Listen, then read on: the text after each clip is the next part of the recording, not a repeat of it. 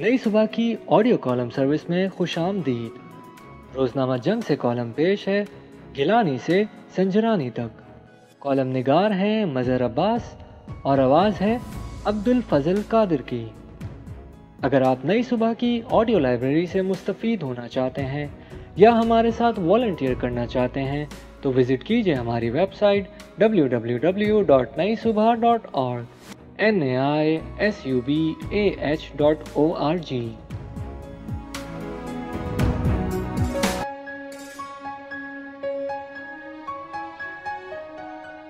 बात खुफिया कैमरे की हो या खुफिया बैलेट की, हमारी सियासत में खुफिया किरदार मौजूद रहेंगे, और जब तक ये हैं, नतज कुछ ऐसे ही आएँगे। जो कुछ 12 मार्च को हुआ, कम बेश वही कुछ 3 मार्च को हुआ था। लिहाजा अक्सरियत होने के बावजूद सबक वज़ी आज़म यूसुफ रजा गिलानी इसी तरह चेयरमैन सेनेट का इलेक्शन हारे, जिस तरह हफीज शेख इनसे हारे थे। अब न्यूट्रल एम्पायर का फैसला इन्हें कबूल करना पड़ेगा। इस अजब इलेक्शन की गजब कहानी के कई किरदार हैं। मगर जनाब, सादिक संजरानी के साथ ये चमत्कार 2018 से होता आ रहा है। कमाल किस्मत लेकर आए हैं। हुकूमत भी जीत गई और रियासत भी हारी तो सियासत। सोचना सिर्फ़ यह है कि आगे क्या होगा। 26 मार्च को बगैर सोचे समझे लॉन्ग मार्च को निकल पड़े तो नतज इस इलेक्शन से मुख्तलिफ़ नहीं होंगे। अब नज़र यही आता है कि खुफिया कैमरे नस्ब करने वाली तहकीकात भी खुफिया रहेंगी। अहम सवाल यह है कि बाजी पलटी कैसे? वज़ीर अजम इमरान खान तीन मार्च के नतज से बहुत परेशान थे। उन्हें पूरा यकीन था कि हफीज शेख जीत जाएँगे। इसके बावजूद कि खान साहब के सीक्रेट वेपन परवेज खटक ने उनको बता दिया था कि हमारे कुछ लोग बिक चुके हैं। कमाल आदमी है ये शख्स भी। खान साहब को इस पर एतमाद भी है और खौफ भी।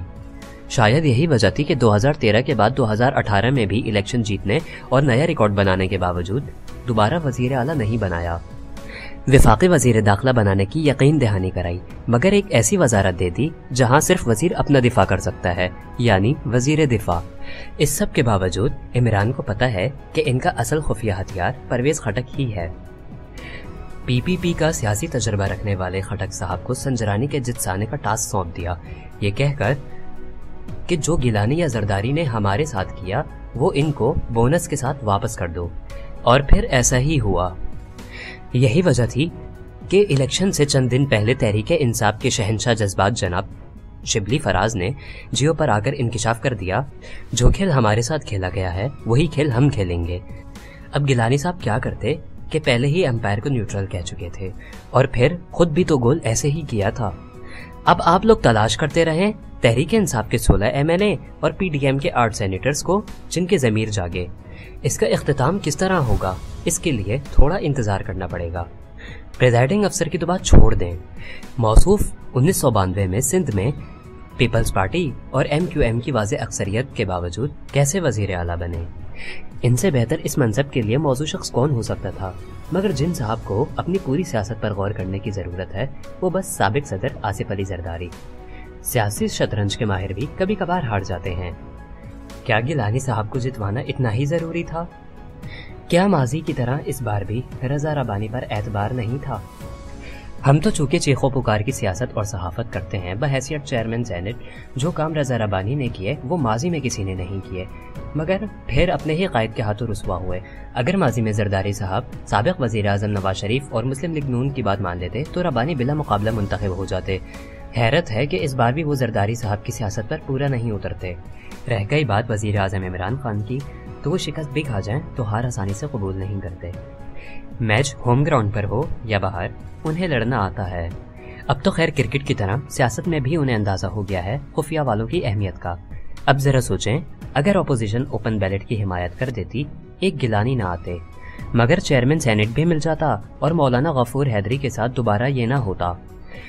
गिलानी साहब के साथ असल हाथ तो खुद इनके बेटे अली हैदर गिलानी ने किया। वाकई, बच्चे गैर सियासी होते हैं। दिलचस्प बात यह है कि इस सारे चक्कर में तख्ते बुजदार एक बार फिर मज़बूत हो गया।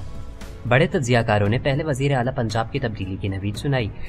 मगर पहले वज़ीर आज़म ने खुद कौमी असम्बली से अहतमाद का वोट लिया और फिर उस्मान बुजदार को अपने अहतमाद का वोट दिया। सियासत को और जमहूरियत को मज़बूत करना है और खुफिया किरदारों को बेनकाब करना है तो पहले अपने अपने घरों की सफ़ाई करें। जो आज आपके हाथ बिका है, वो कल किसी और के हाथों बिकेगा।